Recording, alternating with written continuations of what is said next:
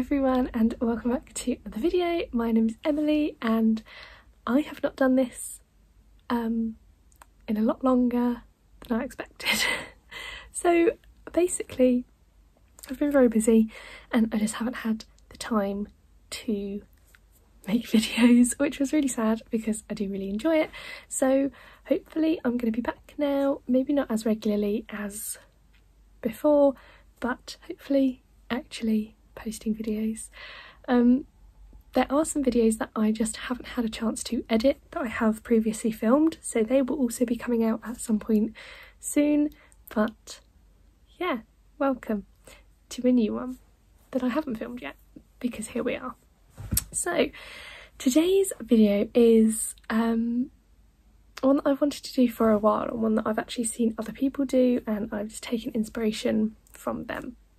And it's getting to that time of year where it's getting Christmassy and if you are uh, like a fibre artist, a knitter, a crocheter or anything else to do with that, um, you all know that this is a big time because we like to make presents because that's what we do. So um, if you are only just starting to think about presents then I have a few ideas for you. Um, all of these I'm, I'm going to be doing two videos. So this one is going to have a mixture of patterns that you have to pay for and potentially free patterns.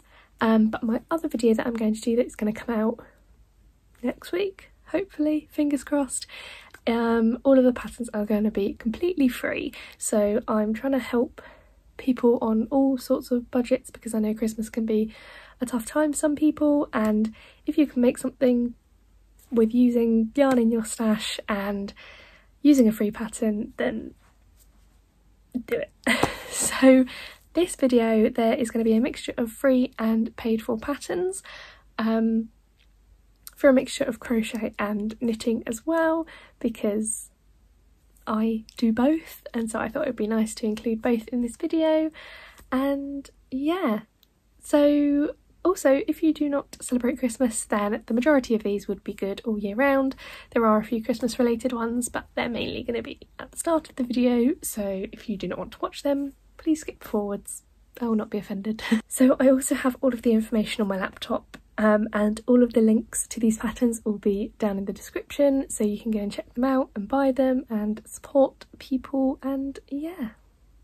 So if you see me looking down it's because they're all on here.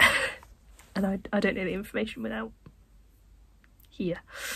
So I will also try and pop up um, pictures on the screen when I can just to show you what the pattern actually looks like so that you have visual ideas as well. So without further ado, let's, let's jump in. The first few patterns that I want to talk about are actually like proper Christmas related patterns. The first one is the Christmas Baubles Volume 1 by Blue Sparrow Handmade. I also apologise if I do not pronounce any names right, I'm not very good at that. Um, so these are a bunch of crocheted baubles that you can make to hang on your tree or to gift to other people or you don't even have to make them as baubles, they could just be ornaments but they look so cute. So in the photos you can see a little mince pie. Um, is it a mince pie or is it a Christmas pud? I think it's Christmas pudding, not a mince pie. Um, a little Christmas bauble and a Christmas tree as well. They look really cute and I can tell that they've been used they've been used they've been made using like chenille yarn so it's really fluffy really cute and I love them um, I also think that if you were to use this pattern you don't have to use the exact same yarn because um, crochet is a lot more versatile when it comes to yarn. You don't really need to get gauge if you want the products to be or the items to be smaller or larger then increase hook size, increase yarn size, it's a lot simpler and especially with like these little almost like amigurumi style I think that they are perfect. And you don't have to put faces on them if you don't want to, they are pretty much completely versatile, which is really nice. So yeah, those were very, very cute. Also, all of the patterns that I am showing you today will be are, or are available on Ravelry. Um, that was where I found them and I use Ravelry a lot because it's sort of like all of your patterns are in one place. Um, so I thought that, that was like the first place I looked for patterns. So yeah, they're all on there if you wanted to know, but they will also be linked down below. So the next one is very, very cute. Very, very cute. And it is the Christmas Bear by Ekaterina Popova, I think. Um, so this is a knitted pattern and it's a little knitted bear. And again, if you do not celebrate Christmas or if you wanted to use this pattern all year round, you definitely could. You don't have to make their outfits Christmassy. You can just take the reindeer part off. But, oh, they're just so cute. I haven't actually had a go at knitting like bear or an animal or like a toy yet because I just feel like they're going to be quite complicated. But I doubt it. I don't know. I've never tried it. I'm a very beginner knitter still. Um, but oh my goodness, these are the most adorable things I've ever seen, and it makes me really want to try knitting these bears. So, my next one is the Christmas stocking by Petite Knit. Um, this looks like just the perfect, like soft Christmas stocking, um, either to use or to have just as a decoration. Um, I love the colour and the yarn that they've used um, in the photos because it just looks very sophisticated, I think. So if you have sort of like an adult that you are making for that you want to make a Christmas stocking for, then this might be better than a like really brightly coloured Christmas stocking if they're not really that sort of person. Um, so yeah, it's very subtle, and you can also um, pop the name on it if you wanted to, or you could leave it blank. And yeah, I just thought it was so cute. Like, it just looks beautiful. So the next one I saw was also quite a sophisticated Christmas stocking, but I feel like with some different colours you could make it a lot more I guess like fun. I'm using the word fun like lightly. I don't mean fun, but like bold and bright. So this is the Christmas Stocking Deer by Marina Hamel Hamel Niesporek. I'm not very good at names. Um, so this is also a knitted pattern. Um, it is a beautiful Christmas stocking. I love the use of their colours in this um, in the photos and I also like the colour work. It has little reindeers on it which is super cute and I also like the tassel which I think you will also be told how to make and the pom-pom as well. I just think it all looks beautiful and comes together nicely. Okay so I also have another Christmas stocking. Um, when I was making this list I obviously really liked the thought of making Christmas stockings for people. But this one is a pattern that is not overly Christmassy. So this is the Christmas stocking 2020 by Pam Connolly. They're not very in your face stockings which some people might like. Um, they're quite lovely. You can do them in any colour um, which is lovely. They are all one colour um, but they do have some cabling involved which makes it a bit um, more advanced which I think would be quite nice. And yeah I just think they look beautiful and you could have lots and lots of different colours and yeah. I, I love it. I think they just look so gorgeous. Very sophisticated for Christmas. Okay so this is the last um Christmassy related pattern I think. Let me double check yes, this is the last Christmassy related pattern. The others aren't like Christmas based. So these are the Christmas Lights socks by Barbara Nail Nailco. Oh my goodness, I love them. They're like on the edge of like cheesy Christmas and I really love that. I think they are amazing. Um, So they are just a pair of socks, but they are quite um, bold and bright and very Christmassy. You could do whatever colours you want, which I love. I love the colour work in them. I like the heel and the rib are different colours. Like, I just, I love it all. So, yeah, I just loved how fun these looked. So if you know somebody that loves a bit of cheese at Christmas, this would be perfect for them. So staying in the sock category, there is also some called the Chestnut Socks by Isabella Guzajbek. Um, and these are a all one colour sock, although you could create a contrast heel, toe and rib if you wanted to. But they have a beautiful um, design on them that doesn't look too tricky or daunting. Um, I can see, I don't know what the um, the other part of the design is, but they do use a rib throughout. It's like a section of rib and then a section of the design. So um, I'm definitely going to give these a go at some point because they are like stunning. Oh, I think it might be cables or cables in some some sense. I'm not very clued up on cables. Sorry, I just knocked the camera. Um, but yeah, these look beautiful. I also love the colour that they've done them in. I feel like socks are a nice present as well, but you do need to know the foot size of your um, person that you are making them for, which can make them a little bit more trickier, but it's fine. Okay, so the next ones um, are the Morning Coffee Socks by Crazy Sock Lady Designs on Ravelry. These are just some lovely, these are more basic socks I would say. They look like they've got um, some sort of rib going on, um, but not like a conventional one. It might be like three by one or something. I don't I don't know how ribs work. um, and something that I love about these is that you can use any type of yarn. Well, when I say any type of yarn, any colour of yarn. Um, obviously, these are for like fingering weight or four ply socks but um, you can use any type of yarn, any colour of yarn that you have in your stash so you don't specifically need certain colours um, which is lovely so you could make them plain, you could make them colourful, you could use scraps like anything.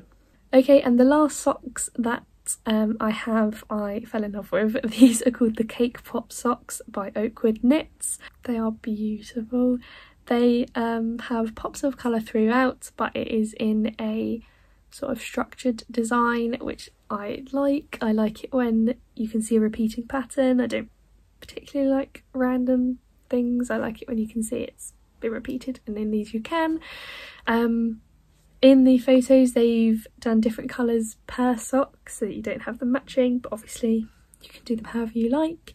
And I just love them. I think they look really cool and I'm definitely going to give these a go at some point. Also, I've just looked at the sizes available for these and they go from toddler up to an XL adult. So quite a nice size range if you are wanting socks for little ones as well. So the next category that I'm going to be showing you are gloves. I think gloves are a perfect little gift, especially like handmade gloves. Like if somebody made me some gloves, that's amazing. So um, I thought I'd include a couple um, because I feel like gloves are a lot easier to make than socks size wise. Like, yes, people's hands can vary, but roughly you know what sort of size they're going to need and it doesn't matter if they're a little bit big um, because they'll be comfy and cozy and they're perfect for going into winter as well. So the first ones that I saw were the gloves with fingers or fingerless, so it's like a two-in-one pattern by Mary Garing. Um, these are knitting and um, they just look gorgeous. Just saying, they're like a really basic, simple glove, which I really wanted to find a pattern for. And also the fingerless ones, they are like knitted around each finger instead of just one long band which I also quite like I feel like they are more snug that way um so yeah these look are really beautiful you can use them for scrap yarn you can use them for any type really um, these are a DK weight as well so they will work up pretty quick as well And the next gloves that I saw were Gloves Maze by Arena. Oh, Cosmayako? Cosmayako? Let's go with that. And these ones are, they look like regular gloves, but they have a beautiful pattern on the back. So um, they use cables on the back to create this really like intricate design and I really love it. I just think they look beautiful. And um, yeah, these ones look pretty long, but I am guessing you could maybe make them shorter. I don't know. You would have to get the pattern and find out. Okay, so another amazing present to make someone is a scarf. Now, scarves are super simple, obviously, depending on what a design you pick, but um, the majority of the time they are a repeating pattern. So, the first scarf I came across was the brioche, uh, the brioche scarf chunky by Helen Beber. Bieber. This looks like a smaller scarf or like a skinnier scarf um, as you can see from some of the photos but it looks lovely. Now some people really don't like a brioche um, stitch but I really do. I haven't finished anything in brioche but I have had a go at knitting in brioche and I really really enjoyed it. So um, also this is in a DK weight so it will knit up quite quickly. So yeah, if you're looking for an easy scarf then I think that one would be perfect. So the next one is the Sophie shawl by Petite Knit. This one um, is just a bigger version of the Sophie scarf which is the little neck um, scarf. This one is like a full size scarf. I wouldn't call it a shawl, I would call it a scarf. Each their own. um, uh, this one is in worsted weight and um, I just love how it looks. It's a, um, if I'm not wrong, it's like a garter stitch, so it is all knit and then it has an eye. I do apologise, my um, phone stopped recording because I ran out of storage. Woo! What was I saying? Oh, I only know about the I-cord because I made the Sophie scarf. Anyway, moving on. the next one is called, I love the name of this one, it's called the Focaccia Shawl um, by Chris Bellin because I love focaccia. so this one just looks insane. Like, it just looks so cool. I have no idea how to even go about making this in my brain. Um, but I love the look of it. I just think it looks so unique, so different and I don't even know what to say about it. I just love it. It just looks stunning. And I think anybody who received this would be very, very grateful. so the next scarf I have is the Scarf of Many Colours by TL Crafts and Designs. Um, this is a knitted one and I feel like this would be perfect if you do have a lot of scrap yarn lying about or you know somebody that is very, very colourful and loves everything bright and beautiful. Um, the use of colour in this I think is really cool. I love the sections, I love what the sections look like as well.